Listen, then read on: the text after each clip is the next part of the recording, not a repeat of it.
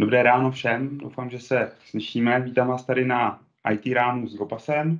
Mé jméno Petr Košec, když tady koukám v Teamsech, jak tady naskakuje číslo lidí, kteří jsou připojení, tak mě to těší. Vidím i, nebo vidím známý tváře, jsem chtěl říct, vidím, vidím známé tagy nebo, nebo iniciály jednotlivých z vás, takže jsem rád, že jste si našli čas na dnešní hodinku se mnou, abych vám něco málo řekl eh, k novinkám, které se v podstatě udály, protože já jsem se nějakým způsobem trošku stáhl z prezentací, ať už to techedů, onlineových a tak dále, a to bych chtěl napravit a vrátit se zpět.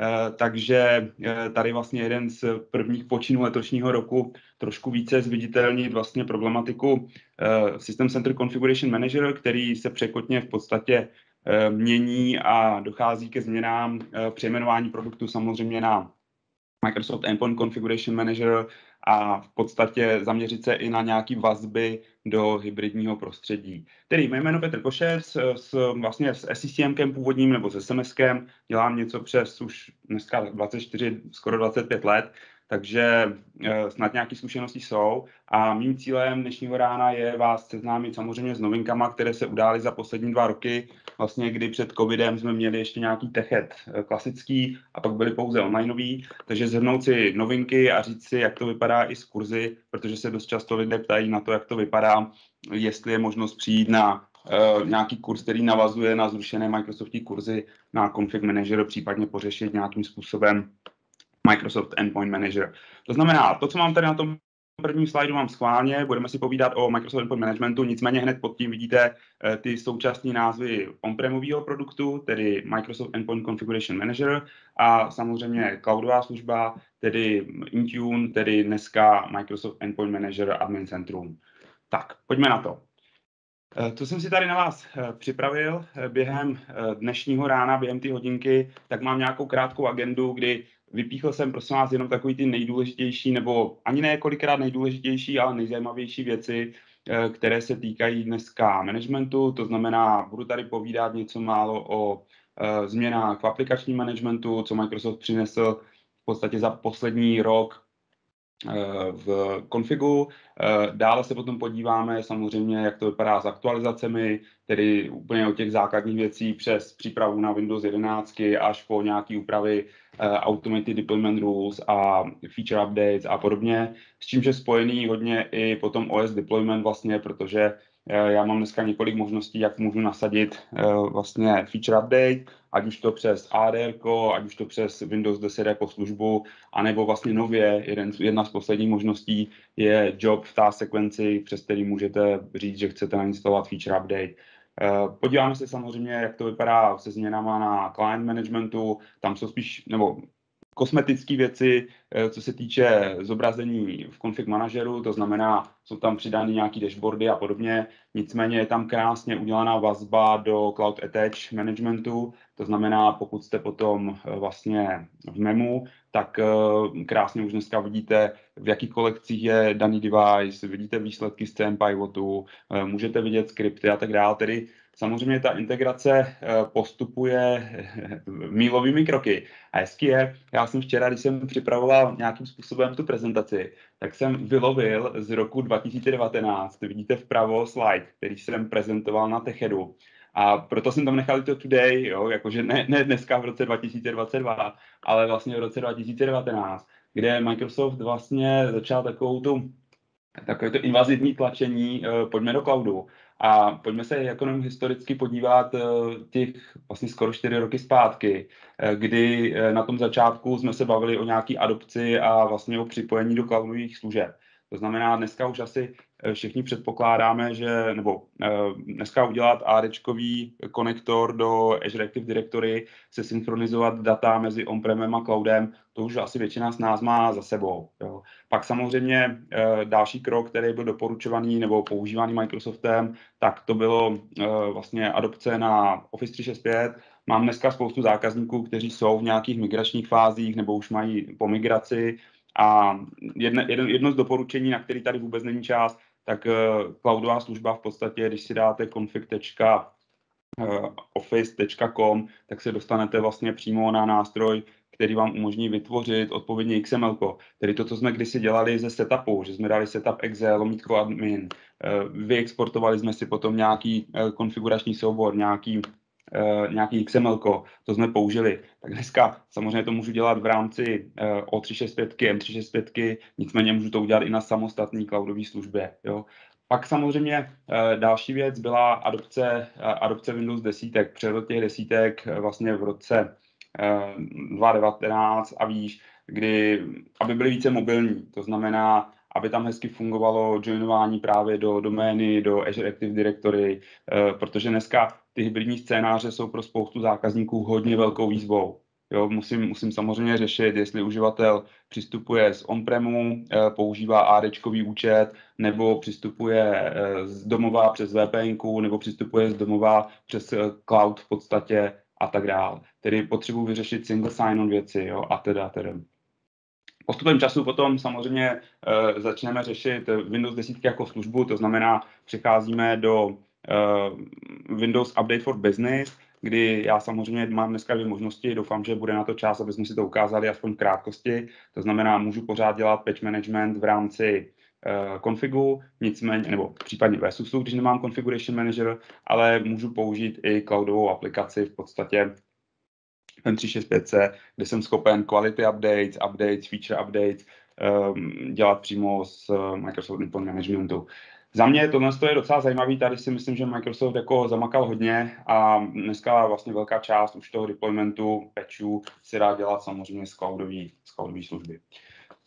Takhle, kdybych pokračoval dál, tak samozřejmě potom jsou, je to nějaký policies o imageování, vytváření imidží. To, co se teď hodně děje, tak je samozřejmě opouštění starých metod autentizace, vyřešení právě single sign-onů, eh, zajištění nějakého multifaktoru, eh, zajištění eh, šifrovaných komunikací a tak dále, tedy moderní autentizace s pomocí dneska asi nejvíc oslovovaného eh, passwordless eh, ověřování a samozřejmě nějakého multifaktorového ověřování. Protože jednu zásadní věc, kterou je potřeba si uvědomit v těch hybridních scénářích, já už dneska nejsem schovaný v tom on-premovém prostředí za nějakým, za nějakým perimetrem, kde mám firewall a proxinu, ale je to v podstatě o tom, že uživatel může přistupovat odkudkoliv, nebo teoreticky z nějakého letišního salonku, ze sdíleného internetu a přistupovat k nám do firmy. To znamená, tady platí takovýto pravidlo, eh, nikdy nikomu nemohu věřit a všechno potřebuju vždycky ověřit. Jo, takže samozřejmě ten tlak na tu bezpečnost je jako markantní pak je to samozřejmě o Modern Apps, tedy já zase, pokud mám M365, tak jsem schopen uh, distribuovat aplikace uh, v rámci Intune a v rámci M365, nebo samozřejmě po starou můžu použít Configuration Manager a zase můžu mít nějaký hybridní scénář, ve kterém budu říkat, jak se budu tvářit k tomu on-premovému nebo cloudovému prostředí. No a vlastně v rámci ty transition, já to mám potom ještě později jeden slide, nebojte, těch slajdů je cca 12, včetně nějakého úvodu a konce, a, takže není moc. Eh, s tím, že eh, transition model je vlastně o tom, jak přecházet z toho on-premového prostředí do cloudového. A mám tam taky jednu vzpomínku, eh, někde v osmém slajdu asi, kde popisuju ty jednotlivé scénáře toho hybridu. Jo. Proč to tady mám? Je to v podstatě o tom, že samozřejmě GoPass má v tuto chvíli dvě, dva vlastní kurzy, které budou nahrazovat ty původní 2700 trojku pomlčka 1B a 2B, kdy to byly právě pětidenní a původně vlastně dvoudenní, dvoudenní kurz nebo třídenní kdysi eh, zaměřený na config manager, na administraci a ten druhý právě na hybridní řešení eh, MDM, tedy mobile device management, Microsoftí vlastně aplikační management a security, tedy EMS. -ko. Samozřejmě Eh, ještě v tom úvodu, co je potřeba si říct, nebo na co bych se chtěl zaměřit, tak bohužel nebo bohu dík, eh, některé ty služby už končí a je potřeba myslet na to, že vlastně MCM je dneska moderní produkt, který eh, vydává aktualizace třikrát ročně a samozřejmě tak, jak některé nové služby vznikají a my si tady o nich povídáme, tak jsou také služby, které zanikají a končí. Tak jo, takže eh, tolik jenom na úvod a eh, my se jdeme podívat teda na první věc, eh, která se týká aplikačního managementu. Já teda tak nějak, protože máme jenom hodinku, tak předpokládám, že všichni nějakou zkušenost s MCM máte, tedy mm, ukazovat samozřejmě, jak se dělá distribuce aplikací úplně nemůžu. Nicméně mám tady vlastně vypíchnuté nějaké novinky, které ukážu. To znamená první věc, která mě se hodně líbí a po který jsem brečel, plakal leta, je vlastně možnost vytváření aplikačních skupin. Eh, aplikační skupiny eh, dneska jsou udělány tak, že um, vlastně můžete grupovat, spojovat více aplikací do nějaké skupiny a tu skupinu můžete nasadit na konkrétní kolekci. Tedy ta hlavní výhoda je, že já nemusím distribuovat jednotlivé aplikace zvlášť, Jo, to je první věc, takže nebudu mít tisíc deploymentů, ale udělám si uh, skupinu podle procesu, podle ITILu. Jo? Někdo řekne, uh, mám právníky a právníci používají těchto z těch 20 aplikací. Tak já nechci vytvořit 20, uh, 20 deploymentů, ale chci prostě si vytvořit aplikaci nebo aplikační grupu právníci a tu nasadím na globální skupinu uh, právníci. Což mi přijde úplně super, já to vždycky vyprávím na kurzech, snažím se, snažil jsem se to leta ukazovat, jak by to šlo nějak obejít a udělat, konečně mám k tomu nástroj. Uh, application grupy tady byly součástí uh, už jako třeba poslední dva, tři buildy, nicméně byly vlastně jenom v pre-releaseu. Dneska je to zrovna jedna z těch features, která už je plnohodnotně releasenutá a kterou můžete tedy používat eh, jako plně zařazenou do Configuration Manageru. Uh, přináší uh, ještě dvě zajímavé uh, možnosti. A právě když se podíváte, tak tady mám available jako dostupný.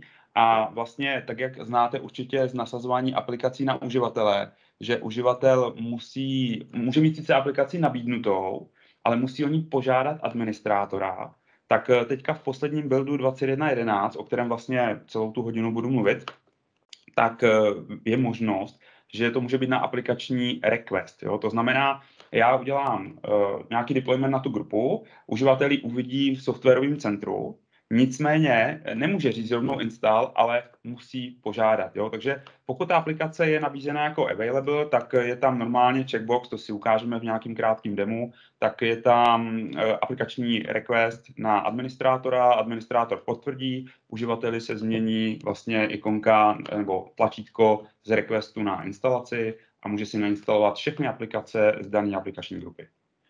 To je jedna možnost, nicméně uh, druhá věc, uh, po které si myslím hodně lidí uh, brečelo, a když vám to teďka tady řeknu, tak budete nadšení, že to tady je. A to je, když použijete scénář deploymentu na required, tedy bude to požadovaná instalace aplikace na ať už to uživatele nebo na, no prostě obecně na kolekci, jo, jestli to bude uživatel nebo, nebo PCčka je fuk, tak já jsem schopen říct, že pokud uživatel není členem, ztratí členství v té kolekci, tak dojde k odinstalaci vlastně celé ty aplikační grupy. Wow, to je úplně super, protože samozřejmě eh, tady byl takový ten klasický problém, že spousta zákazníků řešilo, víte co, zase životní cyklus aplikace. Jo? Dneska jako nainstalovat tu aplikaci víceméně nemusí být problém. Prostě máte tady mlátičku, což je MCM, pustíte deployment na ty koncové stanice, fajn, Nicméně, že jo, mezi tím výjdou aktualizace, ty aplikace zestárnou, vy nahradíte nedej bože jinou aplikací a spousta zákazníků potom mělo mraky kolekcí, jo, nějakou pilotní, nějakou instalační, pak si vyráběli nějakou odinstalační kolekci a samozřejmě to zatěžovalo eh, to MECM z pohledu nějakých updateů nad eh, vlastně přes SQL pro daný kolekce. Nicméně eh, měli jste taky spoustu prostě kolekcí s nějakými updaty a tedy. Eh, to nechci, takže zase mám možnost použít eh, jednu, jeden z nových scénářů a to je implicitní odinstalace pro user collections, nicméně už to jde dneska i pro computer, computer kolekce. Tedy, já když se teďka tady podívám do nějakého svého dema, tak jenom rychlé seznámení, možná ještě jedna z novinek, která je, tak vlastně teď jsem v konzoli MECMK, tedy nahoře vidím Microsoft Endpoint Configuration Manager, uh, jsem tady teďka v administračním nodu, uh, mám tady build 21.11, s tím, že teďka cca nedávno, vlastně týden zpátky, Microsoft vydal hotfix rollup, nicméně on tady je vidět um, poslední, myslím, den, dva, možná jak u koho, Ono samozřejmě záleží, jak často máte updaty a jakou, jak velký máte prostředí a tedy, jo. Tedy první věc, samozřejmě pořád platí to, že MECM je aktualizovaný jako uh, služba, to znamená, jak jsem říkal, třikrát ročně jsme těsně před vydáním nového buildu. Je dost možný, že v průběhu, proto i ten hotfix mimochodem, většinou po hotfix rollupu už přichází uh, po stabilizaci vlastně toho daného buildu, přichází nový build, tedy někdy koncem let, letošního měsíce jsem chtěl říct. Eh, koncem třetího měsíce by mohlo dojít k nějakým prvním eh, vlaštovkám, kdy potom v nějakým pečovacím úterku nebo nějakým datu vyjde dost pravděpodobně verze 22.03. Jinak, když už jsem tady, já to tady mám jenom předpřipravený, nebojte, nebudu, nebudu teď instalovat, tak samozřejmě jedna ze super věcí, eh, kterou dneska máte k dispozici, je možnost aktualizovat rovnou v podstatě z té konzole, tedy tak, jak jsme kdysi museli dělat složitě updaty celého toho prostředí, tak vy v podstatě um, můžete jít jako double hopem z pohledu klientů, že buď řeknete, chci to updateovat včetně všech klientů, anebo mám nějakou pre-production kolekci, na kterou pustím update, potvrdím licenční ujednání, sumarizace, finish close. Eh, pak počkám, udělám aktualizaci, eh, updatenu se klienti, automaticky se ukáže, že konzole je zastaralá, udělá se update konzole a v podstatě máte hotovo. Zjednodušeně. Jo. Prosím vás, to, proč to tady ukazuje, je jiná věc. A vlastně u toho licenčního ujednání je tady uh, Microsoft Edge WebWeaver 2 Runtime.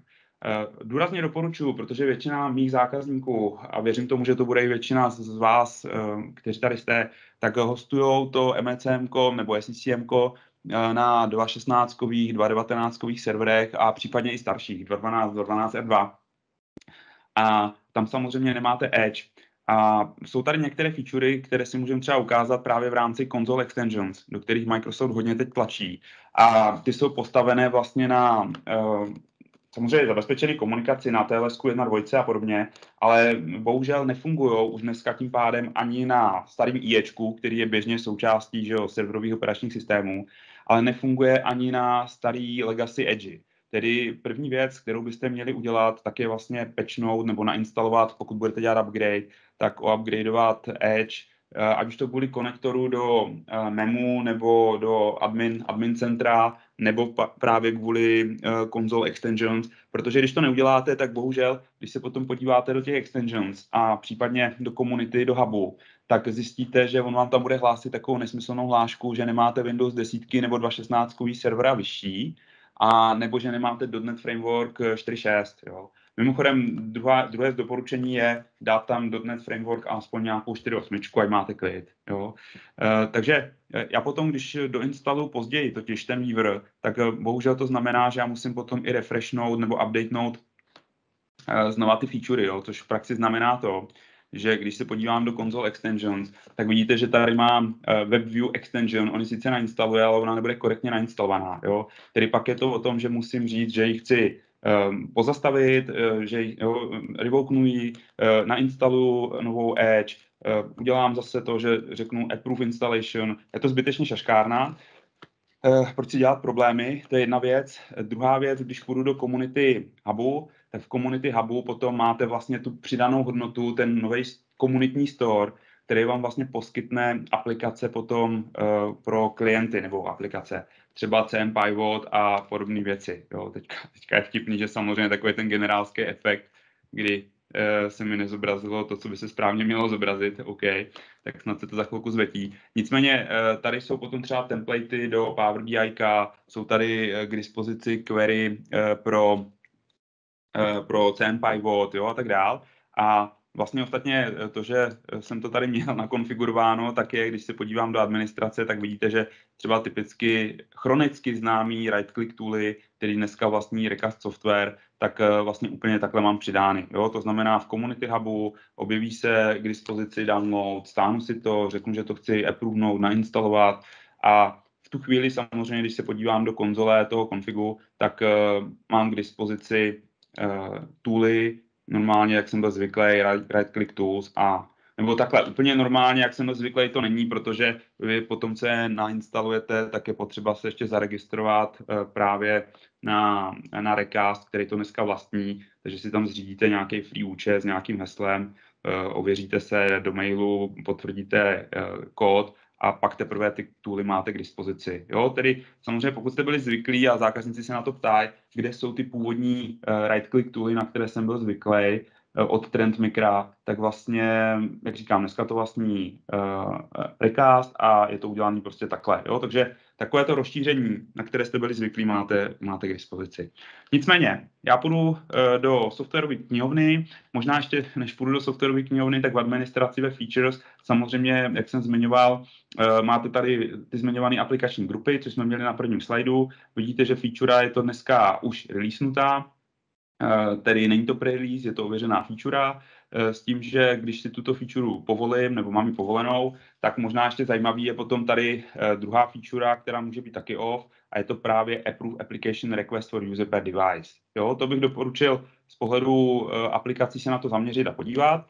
Když půjdu teďka do softwarové knihovny a rozkliknu si aplikační centrum, tak vlastně v tom aplikačním centru klasicky mám nějaké aplikace. Jo? Já tady mám nějaký Power BI, mám tady nějakou 365, WhatsApp desktop a tak dále. Nicméně eh, nově, pokud jste na to nebyli zvyklí, tak vám tady přibude aplikační grupa.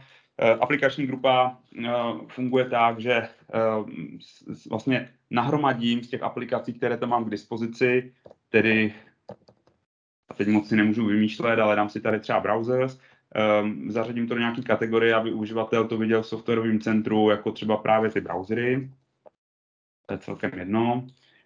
Um, OK, jo, tady je klasika, takže nechci teďka jít úplně do detailu. V softwarovém centru to můžu dát ikonku, klíčová slova, když bude uživatel vyhledávat, můžu si to dát v různých jazycích a tedy. Tím, že pak tady je důležitá ta aplikační grupa. Tedy já tady nasázím ty apky, které mě, které mě zajímají. Jo? Takže někdo řekne, hele, OK, tak já chci, aby tam byly prostě, aby tam byla Edge, Jo, tady bohužel nemám teďka žádný Chrome připravený a tak dále, ale prostě vybral bych si více, více aplikací. Jo, můžu, můžu to pojmenovat jinak, já to pojmenuji ne jako browsers, ale jako kancelář, třeba kancelářské apps, jo. Samozřejmě tady to potom nebude v browserech, ale to už je jedno. Jo. Kancelář, OK, OK, kancelář, uh, tak tady máme potom se ještě kancel, personalizovaný, dal bych si nějakou ikonku, klíčový slova. A tady mám vlastně teda přidané ty aplikace. Um, mám tady závěrečnou sumarizaci, mm, next, finish, close. Jo, tedy já jsem si vytvořil nějakou sadu aplikací, které jsem si nagrupoval v podstatě do těch kancelářských apek. Pak samozřejmě někdo řekne, hele, tak všem klientům na Windows 10 to nabídní, tedy já tady dole vidím u těch kancelářských aplikací, jo, jsou tam tyhle dvě apky, deployment nemám v tuto chvíli žádný. Tedy, OK, já můžu říct, chci udělat eh, deploy a při tom nasazování ty aplikace vyberu kolekci, to je klasika, tedy můžu samozřejmě vybrat, že to nabídnu všem uživatelům. Když si vyberu uživatele, tak vlastně eh, tady je to taková ta klasika, tedy asociace s distribučním bodem, eh, pokud jsem to měl na té kolekci, pokud jsem neměl, tak si vyberu samostatně distribuční bod. Tak a tady mám, to je to, co vlastně jste viděli na slajdu, ve scénáři available je tady volba eh, administrátor eh, musí approvenout ten request, eh, pokud chci nainstalovat aplikační grupu na device. Což v praxi znamená, že to, co asi všichni znáte z běžného kurzu týdenního, kde to předvádím, tak vlastně ten uh, uživatel, když jde do softwarového centra, tak uh, udělá vlastně požadavek na tu apku, uh, mně to tady spadne do aplikačních requestů a já to můžu potom, uh, potom approvenout. Jo? Um, to je jedna věc. Pokud je available, pokud samozřejmě vezmu a řeknu, že to bude aplikace required, tak se změní ta volba a tady vidíte za mě teda úplně úžasná a konečně ta věc tady je. Pokud už ten zdroj, myšleno device nebo uživatel, není členem dané kolekce, tak automaticky dojde k odinstalování uh, ty aplikační grupy. To znamená všech těch aplikací, které jsou členy týmí grupy, kterou jsem si vytvořil. Wow. No, wow, prosím vás, samozřejmě není to zase jako lusknutím prstu. Je vám jasný, že já mám teďka na vás hodinu a kdybych chtěl ukázat celý to demo, tak uh, si chvilku počkáme, protože funguje to tak, že to si možná někde poznamenejte, na straně uh, serveru uh, běží permanentní job, kdy, eh, když se podíváte, tak je tady jeden z nových logů, který se jmenuje SMS Implicit Uninstall. Jo? Tady je on. Jo. SMS Implicit Uninstall log je vlastně k ta, nafařený, připojený k tásku, který se spouští v nějakým desetiminutovém cyklu.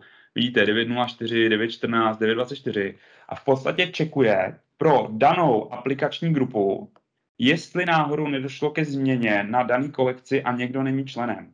Tedy uh, víte co, hned, když lusknu takhle prstem, nevím, jestli to bude slyšet do těch mikrofonů, snad, snad jo, tak uh, není hned. Hned může znamenat, že uh, vlastně to SCCM zhruba za 10 minut, když jsme se podívali na poslední část 11.54, tak to je přesně náš případ. Jo?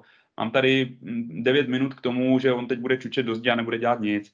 Jakmile zjistí, že došlo ke změně toho deviceu, že už není členem nebo uživatelé, tak pak samozřejmě uh, nakopne politiku a řekne pro daný device v politice, že má dojít k odebrání ty aplikace. Jo? To znamená, eh, záleží, jestli mě teďka pustí, pustí, jak máte nastavený client settings, kdy další čekací čas může být o tom, že samozřejmě v default client actions já budu mít nastaveno by default jednou za, za, 60, za 60 minut, a v takovém případě, pardon, tady client policy, tak v takovém případě čekáte, nebo může se stát, že budete čekat plus tento část, jo. Tedy viděli jste, že on mi řekl, před 9 minutami jsem to dělal, tedy budu to dělat zase až za 9 minut, uh, tady pak vynutím policy, to znamená plus 5, 14, no a pak má zhruba na to 15 minut, aby samotnou aplikaci odinstaloval. Jo? Takže prosím vás, nepanikařit a nechci vidět takový ty stresy, že, že to použijete, vy chcete si to vyzkoušet, jo? vrátím se tady zpět do toho svého dema, že prostě dáte tedy uh, instalační required a uh, řeknete odinstaluj, pak si odeberete klienta a řeknete oh, onem, onem, teď hned, jo. Tak, tak to samozřejmě není. Na druhou stranu to neznamená, že budete čekat hodiny, týdny, měsíce, jo. Takže za mě obě dvě ty volby jsou úplně super. A asi, asi tady ta na required je podstatnější. Prostě pokud uživatel nebude členem kanceláře, tak přijde o ty aplikace. Jo? Tedy pro mě je jednoduchý deployment z pohledu ITILu. Samozřejmě, eh, když se tady vrátím zpátky, tak já jsem říkal, že byť eh, Microsoft to prezentuje primárně na usery, tak když bych to vypublikoval na devicey, tak v podstatě je to ve stejném, ve stejném principu. Jo? Tedy vyberu si tady normálně server SCCM, vidíte, že pokud je required, tak to prostě bude odinstalovávat, pokud je available, tak to bude na approvement. Jo? Takže, OK, já tady můžu teďka udělat uh, třeba ten scénář available, nabídnu to na Windows 10 kompy, um, dám si tady next, zbytek je klasika, od kdy to budu nabízet, user experience, ano, chci, aby to uživatel viděl v softwarovém centru, Nevztahují se na to žádný maintenance okna, protože eh, je to nabízený, tedy není tam žádný mandatorní nebo required deployment, tedy to je klasika. Alerty, vazba do operations manageru, to už známe, a vlastně sumarizace, progress bar, finish close. Ano, jedna z novinek taky je, že tady můžete Microsoftu poskytnout feedback, prosím vás, ale to jsou novinky, které asi ne, není potřeba si tady popisovat. Jo? Takže uh, to si myslím, že je docela jako za mě zásadní věc, uh, co se týče aplikačního managementu. Samozřejmě na straně klienta potom, když bych se, uh, když bych se podíval na nějakou klientskou mašinu, tak je to o tom, že si tady zase uděláme nějaký updateík, politik, on přijme politiku, dostane dostane k dispozici, aha, to kdybych já věděl, co tam mám teďka. Tam je klasické úplně. Pardon. Jo. Mhm. Výborně. Nedochází k předávání. Jo, už. Když se podívám, tak samozřejmě tadyhle mám klasický softwarový centrum eh, s tím, že eh, pak bych tady viděl nabízenou aplikaci. Samozřejmě já ji teďka tady nemám ještě k dispozici, protože právě neproběhla policy. Eh, tu politiku teďka trapácky, když jsem tady, tak vynutím po staru s akcí na straně config manažerů, nicméně samozřejmě asi všichni známe, machine policy jsem schopen vynutit. Ukážu to ostatně na kurzu, jak to udělat v, v Shellu přes VMIC, nebo jak to můžu udělat uh, přes prostě deployment teda přes pravý tlačítko nebo přes right click tooly a tak dále. Jo, tedy klasický Machine Policy Retrieval and Evaluation Cycle udělá to, že ten klient do dvou minut by se měl spojit se serverem, měl by se zeptat, jestli nemá pro ně nějaké nové informace, uh, co se týče konfigurace politik, překonfiguruje policy, nabídne mi potom danou, danou aplikaci, a já ji jsem schopen deploynout. Jo, teďka samozřejmě budu chvilku asi čekat, než se to tam zvetí, než se to objeví. Takže ten výsledek je asi jasný. Já si potom vyberu nějakou, nějakou tu apku a tam bude request a na základě requestu uh, o ní požádám. Jo, takže já můžu zkusit ještě jenom vyskočit. Tady samozřejmě teďka v těch hodinových cyklech které tady, nebo tu hoďku, kterou máme, tak to bude asi rychle, náročnější to vynutit. Vidíte, že já jsem tady dělal ještě rebrand, jo, tady vidět, že jsem policy, nicméně apku zatím ještě, ještě nevidím, tak snad se tam objeví za chvíli. Tak, takže to je asi tak jako jedna z prvních, z prvních takových důležitých ukázek, co se týče aplikačního managementu. Pardon. A, a pojďme dál, tedy a, další věc, na kterou bych se chtěl zaměřit, tak je problematika softwarových aktualizací. Tady popravdě řečeno bych teď s váma mohl sedět na běžném kurzu půl den, kolikrát se mi to protáhne na tři čtvrtě dne a myslím si, že i dva dny a stejně byste toho měli plný, plný brýle. Nicméně, ty základní změny approvals, eh, tedy nějaké schvalování, orchestration groups, Opět, pro někoho možná nový pojem. Eh, orchestrační skupiny se původně jmenovaly cluster groups, pak to Microsoft přejmenoval na server groups. Opět to bylo dlouhou dobu, asi tři roky v pre-releaseu. Dneska už je to nově releasenutá feature a už vyzrála, už je dospělá. Je to feature, která slouží, představte si, že máte, nemusí to být nutně pro servery, jo, ale já to rád prezentuju na serverech, protože tam to dává asi největší smysl a vy si uděláte nějaký, uh, mám třeba Hyper-V cluster a potřebuju ho opečovat. Tak samozřejmě, abych nemusel vytvářet eh, dvě kolekce, kde budu mít třeba liché a sudé nody klastru, tak já si udělám orchestrační grupu, uh, vlastně je rozdělím, nebo rozdělím. Dám tam všechny, dejme tomu 8 Hyper-V, Hyper-V serverů, které mám v klastru a Eh, na ně vlastně budu chtít udělat deployment plásnu jednou měsíčně eh, v, v den, kdy dělám nějakou profilaxi nebo kdy mám prostě patch management, tak eh, řeknu, pošli tam tu aktualizaci. Nicméně standardně by došlo k tomu, že kdyby on otočil hm, do restartu potom všech těch 8 serverů, tak by vlastně služba byla nedostupná, což je pro mě problém. A já bych potřeboval zajistit, aby třeba právě udělal liché nody nebo prostě 50% těch serverů a pak dalších 50% serverů. Jo? Takže já tady mám roznožku a jeden scénář je, že si udělám vlastní kolekce, druhý scénář je, že použiju orchestrační grupu, kde dám všechny a řeknu, že třeba 50% serverů musí být vždycky up musí být nahoře. Jo? Tedy on si to přerozdělí e, s tím, že podstatná věc je, že vy jste mohli spouštět skripty, e, že jo, byl tam startup script a vlastně end script a jde o to, že jestliže mám nějaký virtuálky třeba na tom Hyper-V e, nějakým nodu, tak já budu chtít, než půjde do updateu, takže přesune třeba přes live migraci, přes VMM, že přesune ty virtuálky na, na jiný servery, na ty zbylý, pak udělá patching a potom, co to dopečuje, tak zase pustím nějaký skript a ten skript přesune mm, ty původní virtuálky na to, na to původní místo a udělá další servery. Jo? Eh, tady tohle to sice fungovalo nějak v, eh, v tom pre-releaseu, nicméně nebyl tam improvement právě, jo, schvalování. A vy asi víte, já vám to ukážu potom v demo, že vlastně, když přidá, dneska můžu dělat distribuci skriptu, nebo respektive spouštět skripty, ale je tam vlastně improvement. To znamená, ne, sice kdokoliv, kdo má přístup do konzole tam a má práva na to, tak může vyrobit nějaký vlastní skript, Nicméně, eh, když si v těch orchestračních grupách vlastně tam udělat, šlo udělat podvrh, a mohli jste dát svůj skript a neschvaloval se. Dneska už ty skripty vyžadují všechny schvalování. Jo? Takže to je jakoby bezpečnostní e, záležitost, byť je to drobnost, ale je to docela zajímavý. Takže mrkneme na orchestrační skupiny. E, další věc, e, za mě nějaké vylepšení, co se týče v ADR-kových search kritériích, tak tady je parádní věc. Když děláte filtr pro Automated Deployment Rule, tak vy tam filtrujete, že jo. Chci KBčka, které jsou critical security. Chci KBčka, které jsou pro Windows 10, Windows 11 a tak dále. Nicméně pak je tam uh, důležitá uh, důležitý filtr na uh, data release or vlastně datum vydání a nebo revize, jo. Data release or revise. A tam šlo zvolit úplně jako pro někoho nesmyslný časy. 21 dnů, pak tam bylo nějaký, tuším, že No prostě byl tam nějaký takový čísla, že to nebyla klasika. 30 dnů, 60 dnů, 90 dnů, půl roku, rok. Takže Microsoft dodělal filtry právě na tyhle ty data. Wow, Microsoft, jo. Takže zase drobná změna, nicméně proč ne, jo.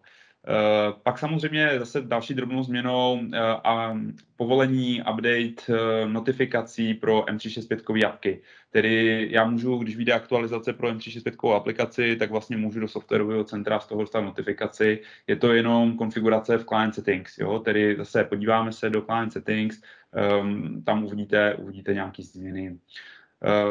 Příjemná věc za mě je potom třeba, uh, to není z 21.11, ale z 21.07, uh, Run Software Updates, Evaluation from uh, Deployment Status. V podstatě já dokážu vynutit, když stojím v deploymentu, Jo, víte co, vy uděláte ADR, řeknete, že chcete nasadit každé úterý nějaký aktualizace, které jsou nové pro Windows 10, a pak si to jdete zkontrolovat do deploymentu a tam zjistíte, že vlastně musíte jít zpátky do, do Eh, do deploymentu u, tý, u toho ADR a tam kliknu pravým tlačítkem a tak dále. Já jsem dneska schopen normálně v monitoringu, v deployi si rozkliknout ten daný deployment a tam přes pravý tlačítko spustit update evaluation cycle, vynutit ho vlastně na, tý, na tom daném deploymentu, což je docela fajn, jo, to vám ukážu potom v konzoli, takže za mě je to mm, příjemná, příjemná záležitost. Jo. Jinak trošku uh, taková jako vtipná věc, samozřejmě Microsoft rozšiřuje i set party a jedna z novinek, která tam je, tak tam přibylo tlačítko v ribonech, které se jmenuje More Catalogs a uh, já jsem schopen dneska ve CCM aktualizovat vlastně primárně hardwareové vendory, Dell, HP, Lenovo a tak dále. Eh, nicméně plus Adobe a pak jsou tam různé třetí strany. A spousta lidí hledalo ty katalogy, kde se to dá najít a právě tlačítko More Catalogs to umožňuje. Wow. Tedy není to, že by to rovnou naimportoval, že by vám to dal jako select, ale vlastně hodí vás to na websiteu, která združuje, uh, združuje ty linky nebo ty jednotlivé vendory. Jo, podíváme se na to. No a pak je to taková drobnost, uh, to, to taky je už z minulého buildu, z 21.07, Eh, změna vlastně výchozí velikosti maximálního běhu jednotlivých aktualizací. Eh, týká se to primárně feature updateů, které mají nastavený eh, maximum runtime 120 minut, pak jsou to non-feature updaty, ty mají 60 minut a M365 updaty 60 minut. Jsou to deadliny, běžně aktualizace mají potom všechny, nebo by měly mít 10-minutový interval pro instalaci. Jo, tedy pojďme se podívat, jak by to jak by to mohlo vypadat, na co se můžeme kouknout. Tedy já půjdu tady zase na student, tady z té mašiny, tady zatím ještě neproběhlo, výborně, to už by mělo. Eh, podíváme se na config manager. A první věc tedy, jak vypadají ty orchestrátorské skupiny. Jo?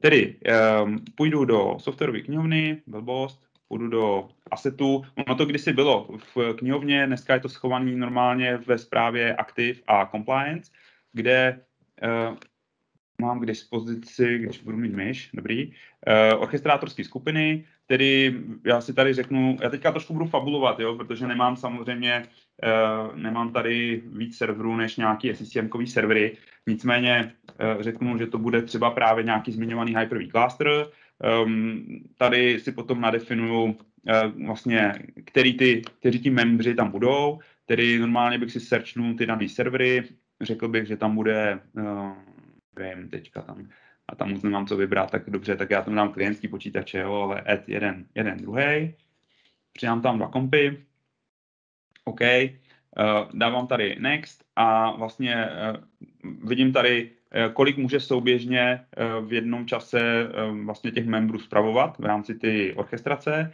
Dobře, mám tady jenom jeden, to znamená 50%, dobrý, můžu to dát v procentech samozřejmě nebo v nějaké absolutní hodnotě.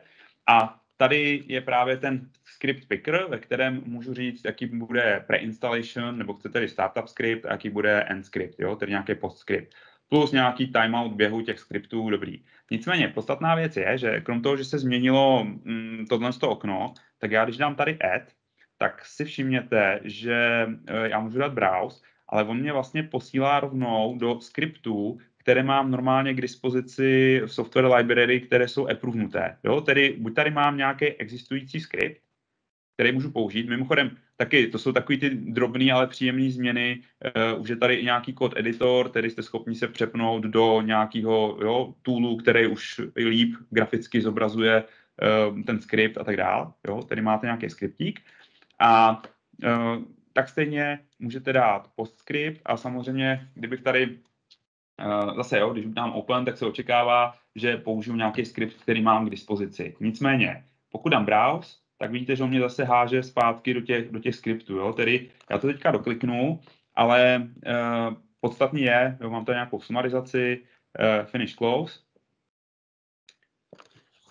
Tedy mám tady nějaký Hyper-V cluster, MECM servery, samozřejmě můžu se podívat na ty propky, eh, můžu to zeditovat, vidím tam členy, vidím tam nějaký časy, vidím tady rule selection a ten script picker. Jo. Nicméně podstatou věci je, že ty skripty vlastně už nemůžu přidat jako své volně, ale je to o tom, že když jsem se teď přepl do softwarové knihovny, tak já samozřejmě, že jo, když tady vytvořím nějaký skript, my script, jo, a buď tady naimportuju nějakou PS1, nebo tady dám prostě mm, get add user něco, to je jedno, tak eh, já sice můžu, že jo, doklikat si ten skript, to jako jo, to je fajn, ale on nebude approvenutý, že jo, jo takže eh, tady, pokud já pustím nějakou L1 do vytváření vlastních skriptů, pustíme sem, oni je tady vytvoří, tak pak můžu mít samozřejmě roli. Já to teďka prosím vás mám samozřejmě změněný, jak jsem full admin, tak asi to znáte z kurzu třeba, tak uh, mám tady uh, možnost si to sám sobě approvenout, jo? takže to trošku obcházím tu logiku věci, ale prostě jo, někdo udělá approve, řekne, že ten skript je OK a teprve pak já jsem ten skript vlastně schopen použít v rámci uh, těch skupin. Jo? Tedy, když se podívám na orchestrační grupu, vrátím se zpět, uh, půjdu do properties, tak samozřejmě Tady potom budu mít v Picru už k dispozici ty skripty oba dva. Jo, pardon, jsem vezl na PS1. Uh, eh, mám tady i ten můj skript. Jo. Nicméně, kdybych šel jako obráceně, jo, kdybych šel scénářem, že jsem tady dal open a vzal bych svévolně někde z lokálu PS1, tak on by mi v podstatě řekl, že ho nejdřív chce approvenout a stalo by se obrácený scénář, kdy on by se objevil ve skriptech byl by tam approvement a zase někdo by musel udělat approve, uh, approve toho mého skriptu. Jo? Tedy to jsou orchestrační grupy, um, tak jak je můžu používat. Jinak, uh, co se týče uh, vlastně toho dalšího bodu, tedy vylepšení na ADR searchi, tak uh, podíváme se tady do softwarových aktualizací. Mám tady uh, nějaké ADR, já tady jo, mám tady typicky Automated Deployment Rule na Windows 10 na Security Critical Updates jednou měsíčně, super. Podíváme se na property. V propkách uh, mám softwarové updaty, um, mám tady samozřejmě jo, uh, platforma, critical, important, moderate a tak dále na severitu. Nicméně tady data release a revize, právě tady bylo kdysi 10 měsíců, 11 měsíců a tak. Uh, nicméně vidíte, že tady je den, hodina, měsíc Eh, a jak jsem tady zmiňoval, je tam eh, možnost 30 dnů, 60 dnů, 90 dnů. Jo, takže tak, jak tam bylo kdysi 28 dní, tak máte k dispozici uh, 30-denní scénáře tadyhle, jo. Older, older den, a to je vlastně nový. Jo, 30 dnů, 6 měsíců, 60 dní, 90 dní, jeden rok. Tedy to tady přibylo, přibylo nově. Jo, takže to je jedna, jedna z novinek vlastně zase takhle jako schovaných v rámci, v rámci toho ADRK. Ehm, jinak eh, jsem tady zmiňoval, že pěkná věc, já tady teďka mám že jo, nějaký deployment, mám to tady poslaný na Windows desítky, mohl bych se samozřejmě podívat, vidím tady normálně ten deployment, jako jak to má vypadat, jak je to naplánovaný, jo, kdy se to spouští, to je klasika. Nicméně, tou novinkou, která se týká uh, toho vylepšení uh, software updates evaluation from deployment status, tak je to o tom, že já když vlezu do monitoringu, podívám se do deploymentu, tak v deploymentu, když tady mám ten softwarový update, to je on, že jo, tak já jsem schopen eh, se podívat na view status a teď vy tady jako řešíte, hele, to je nějaký divný, já bych to chtěl jako vyhodnotit a tady je právě ta volba Evaluate Software Update Deployments. Jo? Tedy přidali tady right click novej, eh, kde jsem schopen vynutit, eh, vyhodnotit vlastně tu evaluaci, udělat na softwarový update deploymenty. Jo? pak jsme tam měli ještě ty set party, tak prosím vás, když už jsme, když už jsme tady v softwarové knihovně, tak tady set party, jak jsem zmiňoval, more catalogs, výborná věc. Hodí vás to normálně do AKMS stránky s prolinkem na set party software update katalogy. Samozřejmě eh, tadyhle je seznám všech třetích stran, které můžete buď to přes uh, set party update katalog naimportovat, a nebo potom se spojit, něco je třeba klasický Patch My PC, že si musíte někde zaregistrovat, stáhnete si kapko, to kapko tam naimportujete, tedy mají nějaké limity ty katalogy, nicméně tady přehled všech těch, nebo všech, momentálně dostupných, kteří spolupracují s Microsoftem a poskytují tu službu. Jo? Tedy Zase bohužel nemáme na to čas, přijďte na kurz. Vidíte, že já tady mám rozjetý deli, takže samozřejmě pokud bych se o tom podíval do uh, softwarových aktualizací, tak krom nějakých hardwareových, teda softwarových definic, jsem schopen nasazovat i uh, potom updaty pro firmwary, uh, pro BIOSy a pro drivery daného třeba hardwareového vendora. Uh, Poslední věc, která tady ještě k tomu patří, tak je vlastně, jo, to jsem zmiňoval, a to je drobnost, když se podíváme do konfigurace client settings a otevřu si default client settings, tak v softwarových aktualizacích eh, přibyl právě nově checkbox, který se jmenuje uh, tadyhle Enable Update Notifications from M365 Apps. Jo? Takže tady potom vám bude chodit toastová notifikace o tom v rámci vlastně MECMK, že jsou nějaké aktualizace pro M365 Apps. Fajn. Tak, tolik asi k tomu. Pojďme dál. Já teď koukám, děsivě se koukám, jak se ten čas řítí dál. Tedy uh, client management. Prosím vás, tady jenom v rychlosti. V rámci client managementu samozřejmě dashboardy, podpora Windows 11, to znamená, tak jak děláte někde nějaký cílení, tak tam můžete vybrat jedenáctky, uh, jsou tady vylepšené dashboardy, to jsou hračky. Ale za mě jedna skrytá a zásadní věc je custom properties for device. Jo? Uh, všimněte si, já tady mám vytažený obrázek, ukážem si to třeba v praxi.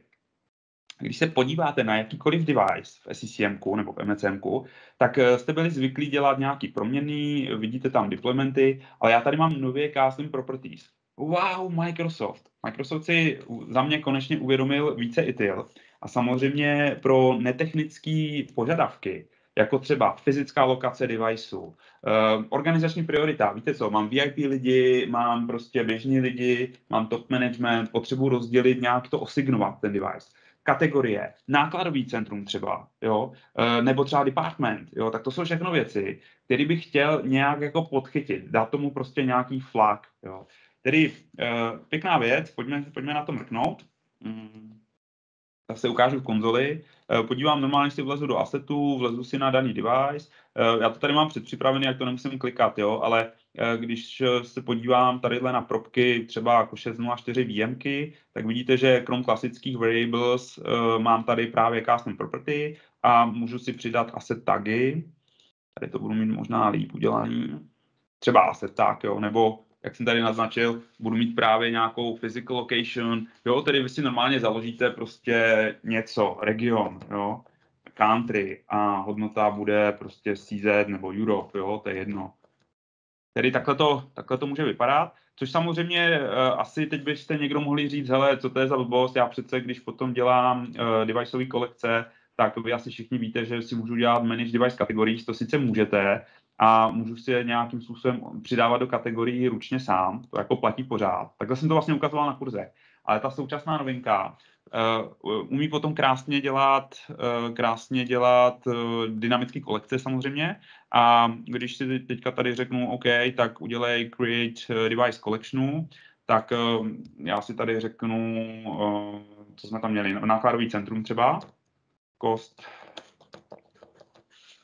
Uh, že jo, olimituju to klasika nějakou kolekcí, all systems, next, uh, přidám pravidlo, dám tady query rule, řeknu soft center, nákladový centrum, uh, oedituju tu querynu, kritéria, založím nový kritérium, v kritériu v custom property si selectnu tu query, a v queryně je tady nově právě custom, device, um, device custom property. Jo? Tedy když se podíváte, tak CD, CD, jenom, jenom je potřeba znát abecedu, hele.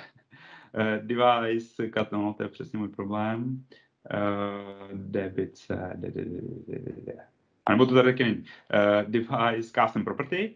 A tadyhle máte právě property name a property value. Jo? Takže řeknu, hele, property name mě zajímá tadyhle, co jsme tam dali, nákladový centrum a mm, řeknu, přidej to tam, tedy musíš mít nákladový centrum a samozřejmě pak si tady Eh, přidám druhý pravidlo, a řeknu opět, že mě zajímá device, um, device uh, custom property a řeknu value, hodnota a v hodnotě řeknu nákladový centrum 101. Jo? Takže uh, já si takhle můžu udělat querynu krásně, samozřejmě zase prosím vás novinky typu, že to tady můžete spustit, abyste se dozvěděli, jak rychle ten dotaz trvá. To jsou takové příjemné změny, ale na to bohužel teď nemáme čas. Jo. Takže mám udělaný nákladový centrum, boom, boom, close. Jo. Tedy e, cílem je samozřejmě pořešit, že e, Microsoft už na to nekouká, jako že ten device je e, pouze nějaká hardwareová inventura přes WMI, ale že v podstatě jste schopni si udělat podle ITILu, jak už jsem říkal, podle fyzické lokace, nějakých priorit a tak dál, prostě získat členství. Jo. Tak, nějak usnu. Ale jo, je tam, je tam jeden device, když to rozkliknu, tak tam bude právě ten LON celý jedna, to je asi, asi jasný. Jo, takže Eh, ten splňuje tu podmínku, můžeme si ověřit. Ostatní to neměli, věděli jste, že ten košecův počítač tam měl jenom nějaký aseták, tadyhle mám custom property právě 101. Wow, super, jo. Za mě zase příjemná změna, proč, proč ne, jo, takže to si zase, když tam někde poznačte, abyste změnili svý vlastní procesy v SCCM. Tak, prosím vás, uh, jaký máme čas? Ježíš Maria. Uh, další věc, ta sekvence. Uh, tady, ta sequence check uh, pro TPM, Eh, tedy to je příjemná věc kvůli Windows 11. V OS deploymentu existuje job, ve kterém uh, můžete vlastně v prerekvizitách čekovat, jestli je tam TPM, to je asi důležitá věc, jasná věc. Vylepšení ve Windows Servicingu dashboardu je o tom, že uh, vidíte i statusy Windows 11 a vlastně v jakém stavu jsou Windows 11. Uh, s tím, že Eh, tady potom eh, taková, jako, takový věci, jako třeba podpora eh, korejských klávesnic, myslím, že se vás zase úplně netýká. Takže změny v dashboardu a samozřejmě za mě důležitý TPM a důležitý feature update v té dané ta sekvenci. Jo? Plus, když vám sfailuje ta sekvence na readiness detailech, tak vypíše konečně hlášku, na čem vám to vlastně reálně spadlo. Jo? Takže to jsou za mě takové jako zásadní věci. TPM 2, samozřejmě různý dashboardíky, úpravy a feature update v rámci té sekvence je jeden z nových scénářů, jak nasadit feature update. Jo? Plus teda zobrazování těch errorů. Tedy opět, pojďme, mhm. Si to tady překlik, uh, pojďme se podívat na to, co nám to, co nám to přináší. Tedy uh, první věc, uh, půjdu do softwarové knihovny, v softwarové knihovně operating system, bum bum, mám tady nějakou task sekvenci, já tady teďka prostě nás budu editovat nějakou desítkovou, jo, jako to je asi jedno, mám tady prostě nějakou připravenou ta sekvenci. A um, je to běžná ta sekvence, nicméně, když se podívám uh, do té ta sekvence na prerequisity, check readiness, tak uh, vidíte, že tady dole je nově TPM 2.0 a vyšší je povolený a je aktivní. Jo? Je to právě kvůli prerekvizitě Windows 11, který, jasně, můžete to dělat skriptem, můžete to řešit jinak, ale teď mi jde jenom o to, abyste věděli, že to je prostě jedna z novinek, zase takhle trošku skrytá, tedy uh, dneska ta sekvence nabízí kontrolu na, na konfigurování nebo povolení TPM 2. Jo, to je jedna věc. Druhá věc, která mi přijde jako za mě podstatná, tak já bych teďka mohl samozřejmě ukazovat, jak se dělá softwarový update eh, pro feature update, nebo jak se dělá update v rámci Windows 10 jako služby. To úplně není cílem, to přijďte na kurz. Nicméně, eh, když se podíváme do image, tak tady je eh, aplikování operating system image. Jo? Tedy samozřejmě prostě nás teďka nedává smysl ta, ta sekvence, to je doufám jasný, jo? nebudu instalovat feature update a pak to nebudu restartovat do péček, formátovat disky. Jo? Teď mi jde jenom o tu ukázku vlastně toho jobu, co je tady novýho. Uh, a všimněte si, já tady mám k dispozici, uh, d, d, d, d, já jsem to zvolil blbě, pardon, add, uh, image, aplikuj, ne, já jsem dal aplikuj operační systém, pardon, uh, upgrade, jo, samozřejmě, to je blbost, jo, delete. Uh, my nechceme aplikovat, ale chceme udělat upgrade. A když uděláte upgrade, tak byste normálně vybrali upgradeovací package, to je fajn, ale uh, tady potom dole máte k dispozici install the following feature updates. Wow, Tedy pokud, a to je zase za mě jedna, jeden z plusů, proč mít Vesus s SCCM spojený, protože, nebo s MCMkem, protože když to takhle máte, tak u nás samozřejmě hodí automaticky do klasifikace upgradeů, kde podle toho, co máte povolený na software update pointu, jo, já tam teď asi nemám jedenáctky, aby mi to nemigroval na jedenáctky, takže nic, ale vidíte, že on mi tady pro daný build 19.03 a pozdější nabízí pro, v podstatě feature update pro něj. Jo? Tedy tady je vidět, že to vyžaduje, tak já bych si to tady zaškrt, OK. A rovnou vlastně bych udělal upgrade na feature update. Tedy je jasný, že tohle, co jsem ukázal, je trošku nesmysl. Já bych si mohl klidně udělat čistou ta sekvenci, customizovanou, a v té bych prostě řekl, hele, udělej to, že chci nasadit feature, feature update. Tedy já dneska vlastně mám k dispozici eh, možnosti, že jo, jít do Windows Updateu, mám možnosti jít do Windows Servicingu, kde eh, bych viděl feature updatey, udělal bych si servisní plán, což je vlastně ADR, Automated Deployment Rule, která udělá deploy, a nebo jsem schopen to udělat přes ta sekvenci. Když už jsem tady, tak eh, vlastně měl jsem na slajdu, že jedny z novinek jsou úpravy v dashboard centru. Prosím vás, jedna z úprav je, že krom klasického grafu eh, koláčového můžete vidět tabulky, jo, jednotlivých feature updates a tak dále. Nicméně uh, vidíte vlastně uh, quality updaty a Microsoft tady nově přidal, právě jedna z těch novinek je podpora Windows 11, tak jak jsem zmiňoval, a feature, last feature update na Windows 11. Případně samozřejmě uh, ty quality updaty tady nebyly, když si tam byly jenom feature update, tak Microsoft tady dodal i uh, vlastně tabulku nebo graf uh, nebo dlaždici pro quality update verze. Jo, takže takhle aspoň za mě v rychlosti za OS deployment a já teďka, ach jo, košec, košec, vždycky na, nastřílím na vás mraky věcí. Uh, tedy, pardon, uh, další věc je vlastně ten druhý kurz, který jsem tady zmiňoval, tak je zaměřený potom na hybridní řešení. Uh, tady je ten slide, který jste možná viděli někdo na Techeru, mě to přijde úžasný. Jo. Uh, Microsoft tady prezentuje, jak firmy přistupují ke cloudu. Jo. Takže samozřejmě takový ti hippíci jako cloud first a nic jiného, tak jako fajn. Jo. Tak to je asi jasný, tak mám memko a nazdar. Pak je tam samozřejmě Big Switch Transition, to znamená roz, rozjedeme naplno busík, přeskočíme na druhou stranu, jako taky varianta. Pak jsou takzvaní kajakáři, jak já říkám, uh, takže potom pře, jednotlivé služby, jo? endpoint uh, třeba Defendera, uh, přenesu, tak jak jste to viděli na tom prvním slajdu, jo? že tam jedu po jednotlivých službách, synchronizace ADčka s ADčkem, uh, přenesu antivir na Defendera for endpoint a podobně. A pak jsou call management, a to je vlastně to, co já učím v tom dvoudenním kurzu, kde pořád zůstává on-prem a cloud a kde se vlastně dělají ty jednotlivé vazby. Jo? A to je samozřejmě zajímavé, protože podstatně je, že já tím autíčkem můžu jezdit tam a zpátky, který můžu definovat nějaký workload, který budu přenášet mezi on-premem a cloudovým prostorem, tedy udělám si hybrid. Eh, u toho hybridu eh, je to o tom, že dneska asi z těch viditelných věcí eh, Microsoft před dvěmi revizemi přejmenoval co-management na Cloud Attach, ukážu. Jedna z příjemných věcí je, že v MEMu, tedy v cloudovém prostoru, vidíte BitLocker Recovery Keys, tedy mm, pokud nemám přístup do on-premu a jsem správce jenom eh, v admin centru MEMu, tak jsem schopen vidět recoverovací klíče pro BitLocker v MEMu, což je fajn. Uh, pak jedna ze zásadních novinek, která se tady týká, tak je ohledně Cloud Management Gateway, do který Microsoft tlačí. A Cloud Management Gateway je cloudová služba spojující Management Point a Distribution Point v jedno. Tím pádem zaniká Cloud Distribution Point role. A ještě jeden podstatný rozdíl. Z klasik virtuální mašiny se stává Web Machine Scaleset a podstatný je, že vy můžete měnit sizing. Bacha na to, eh, pokud to budete někde řešit, tak eh, dneska Microsoft nabízí vlastně tři, eh, tři typy těch scénářů. Je tam small, standard a large, to vám když tak ukážu.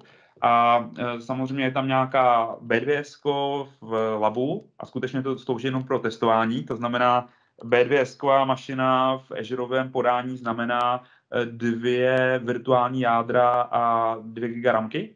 Eh, standardka jsou čtyři, eh, sorry, dvě kórové jádra a čtyři gigaramky a larčka je potom čtyři, čtyři kórové jádra a 8 gigaramky. Jo? Tedy on vlastně vystřihne v Azure normálně virtuálku, vy je můžete škálovat, můžete udělat až v tom skillsetu naškálovat 16 virtuálek, počkáte 20-30 minut, než to vybuilduje a máte robustní řešení v cloudu pro vlastně mm, jako, jako cloudový management point s uh, cloudovým distribution pointem. Jo?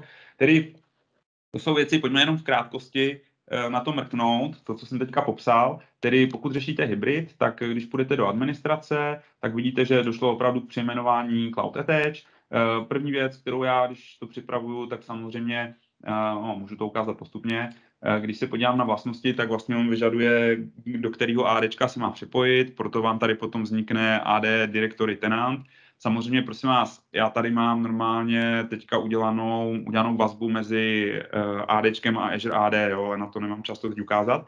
Tedy vy v tom Wizardu řeknete, chci se připojit do veřejného cloudu, do government cloudu, do China cloudu, uh, vyberete tady, co budete chtít synchronizovat s admin centrem v MEMu, tedy tady už se bavíme o Intune, jo.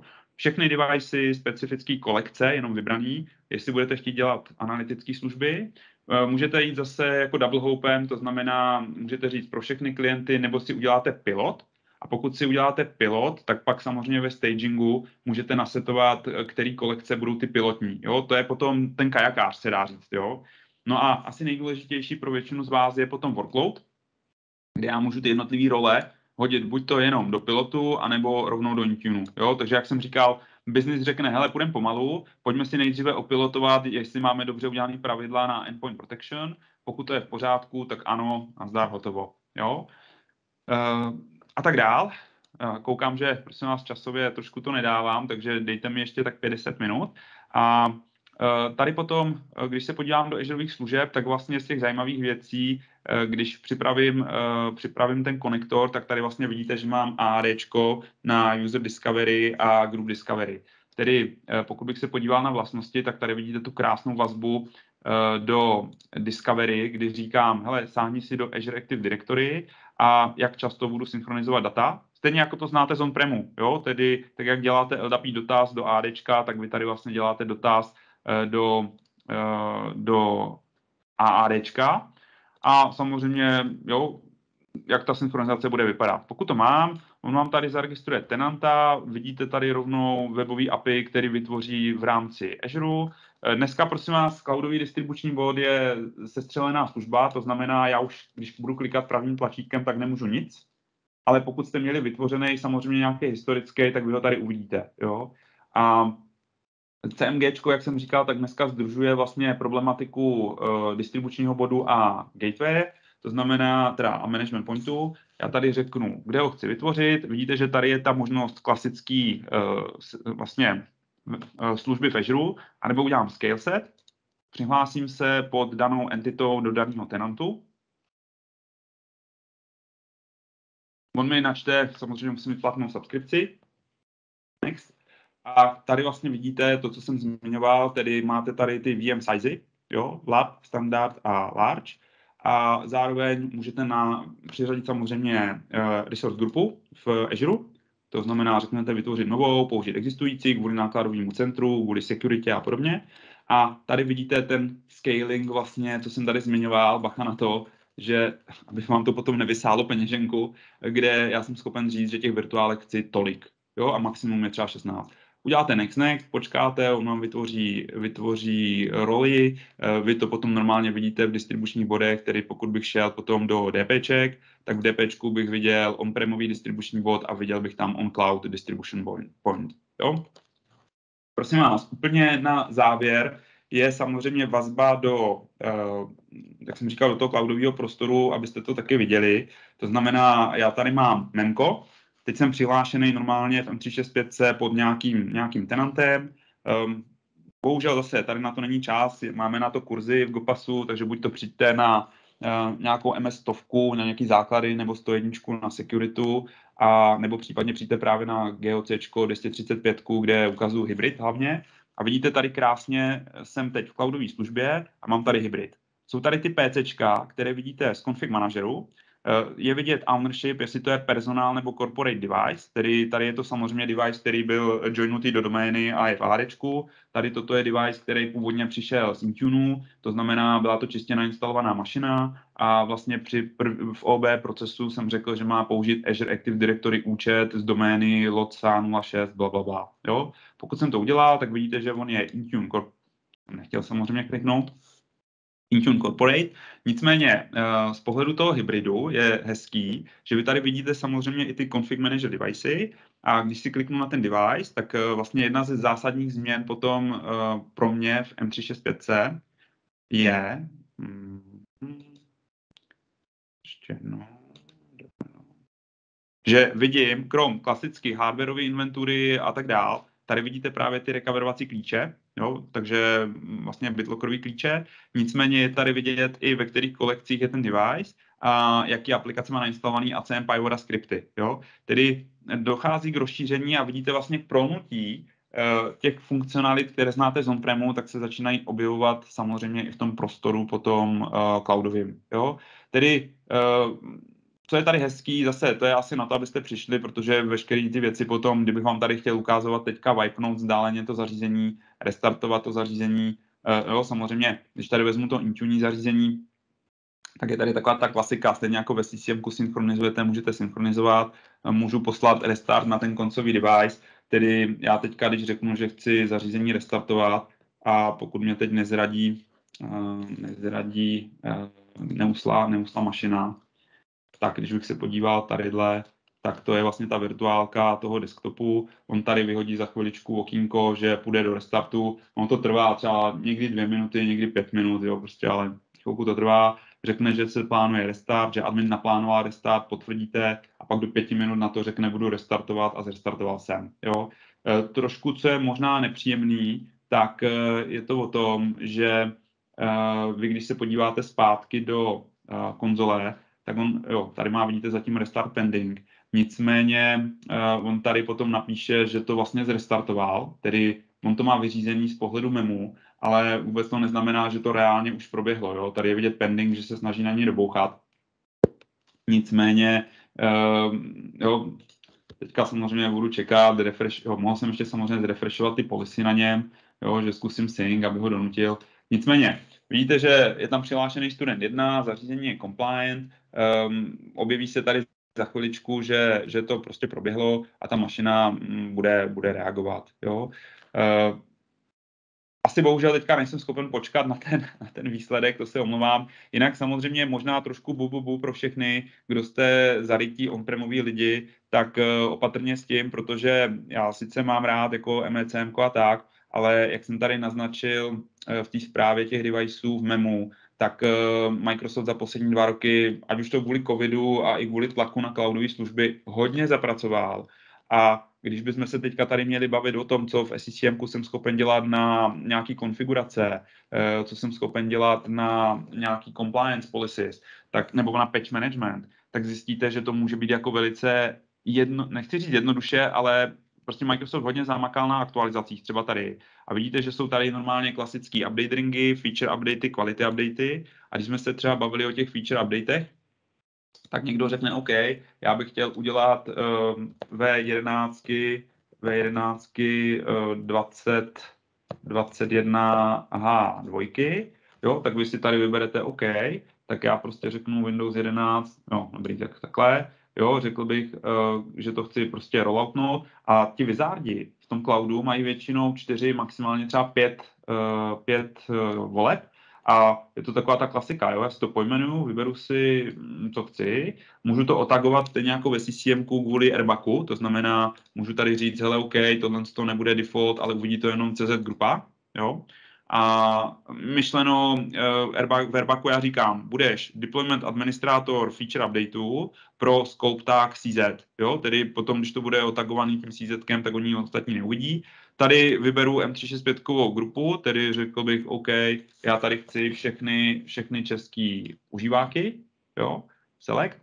A tím jsem skončil v podstatě. Můžu dělat samozřejmě nějaký exclude, jo, dobrý a uh, řekl bych na konci review, review a create a poslal bych tam v podstatě ten feature update, jo, tedy najednou zjistíte, že pro ten business to je relativně jako jednoduchý, že mají někoho, kdo jim to klikne a nestaráte se o tu vnitřní infrastrukturu, jo, tedy to jsou třeba feature updaty, Samozřejmě úplně stejně bychom se mohli bavit o apps, kde bych si vybral potom daný device. Řekl bych tady, že si chci připravit aplikaci, ale zase prosím vás, to je spíš potom na daný, daný plánovaný kurz. Jo? Takže možná jenom rychlej kuk, tady mašina zatím nic, výborně, tak to asi necháme tak. A možná na závěr, co bych chtěl, tak jenom samozřejmě udělat i nějaký promo na, nebo pro, ještě před promem, tadyhle funkce, které nejsou, jo, prosím vás. Já jsem úmyslně neukazoval Microsoft Store for Business, protože v Q1 2023 Microsoft eh, zabije službu eh, MSFB, jo.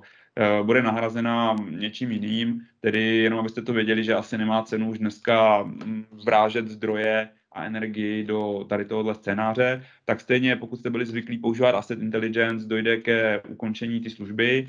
Uh, on-premový MDM, že jste byli schopni enrollnout mobilní device on-premu, tak bude primárně cloudovou záležitostí. CDP už je vlastně feature, jak jsem ukazoval, že tam sice ji vidíte, ale už ji nenakonfigurujete v novém SCCM.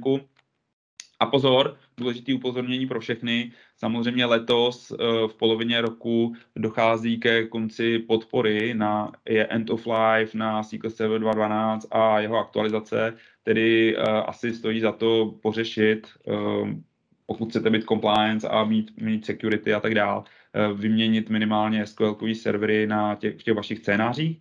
A poslední věc, a to jsem tady zmiňoval, je Microsoft Edge Legacy, tedy vyměnit Edge. Eh, v SCCM na to existuje hotové udělátko v softwarovém centru, zase předvádím to na kurzu. Eh, tedy, eh, jak tady vidíte, máme vlastně v GoPasu momentálně dva nové kurzy, které nahrazují ty původní Microsoftní kurzy. Je to 234 pětidenní kurz na Endpoint se mnou, kde uvidíte poslední novinky, včetně nějakých historických věcí dopodrobná, určitě přijďte. Druhý kurz je dvoudenní, který v podstatě se hlavně zaměřuje na hybrid. To znamená, já tam povídám na začátku samozřejmě o tom, jak vypadá Memko a jak vypadají jednotlivý cloudový portály, aby se člověk v tom zorientoval. Na druhou stranu se hlavně zaměřují na ty hybridní scénáře, Třeba neukazoval jsem vůbec, v kolekcích můžete udělat synchronizaci eh, M365 dynamické grupy do kolekce a tím pádem přetahovat ty objekty mezi cloudem a on-premem a tak dále. Je tam spousta, spousta zajímavých věcí a myslím si, že možná i letos eh, požádám GoPass v druhý půli roku třeba na prodloužení na tři dny, protože těch věcí samozřejmě začíná přibývat a toho času je na to málo. Takže to je jenom takhle. Samozřejmě nezapomeňte eh, letos na Tech, Online, který by měl proběhnout v pátém měsíci. Doufám, že se tam uslyšíme, uvidíme na nějaký sešně právě k novinkám, které se budou týkat endpointu. Děkuji vám za pozornost, děkuji za váš čas, že jste vydrželi, byť jsem přetáhl o nějakých 20 minut. Eh, prezentace bude samozřejmě nahrána, tak jak to psali kolegové. Eh, já teďka tady mrknu do chatu, případně zkusím odpovědět v chatu na vaše dotazy. Ostatním přeji příjemný, pěkný den a mějte se pěkně někdy na viděnou, na stranu.